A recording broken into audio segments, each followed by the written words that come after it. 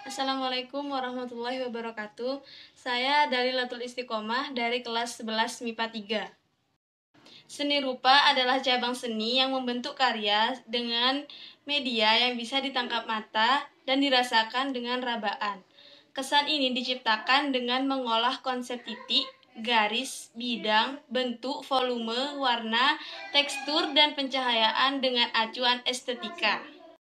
Cabang dari seni rupa yaitu seni lukis, seni grafis, seni patung, seni instalasi, seni pertunjukan, seni keramik, seni film, dan seni koreografi. Sekian dan terima kasih. Wassalamualaikum warahmatullahi wabarakatuh.